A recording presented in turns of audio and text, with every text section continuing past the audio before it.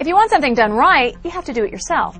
That seems to be China's approach to the internet. State-owned news agency Xinhua and state-owned China Mobile, China's largest phone carrier, are teaming up to run Pangu, China's newest and government-approved search engine. This joint venture was announced last summer, right after Google decided to pull out of China because the search giant refused to continue censoring material. The CBS report details the repercussions of Google's departure.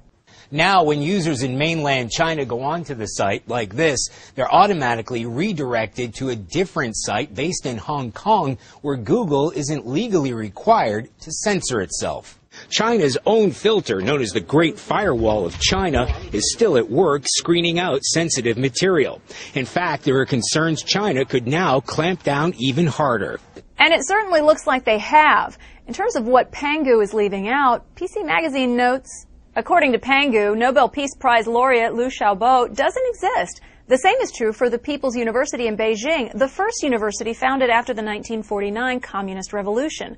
Dalai Lama returns only tourism sites or state-sponsored criticism. But Pangu isn't the only search engine on the market.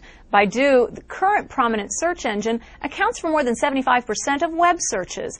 But as TMC Net notes, Pangu offers a platform that Baidu doesn't. Baidu only controls about 36% of the mobile search market. By partnering with China Mobile, Xinhua may soon have a leg up on its competition in the mobile space. But a blogger for Download Squad suggests the Chinese government might have an ulterior motive, trying to get a slice of the search engine market. China already has a very strict policy on censoring politically sensitive material, which Baidu strictly abides by. So unless it wants to further extend its control of information inside its borders, why would the Chinese government be interested in offering an alternative?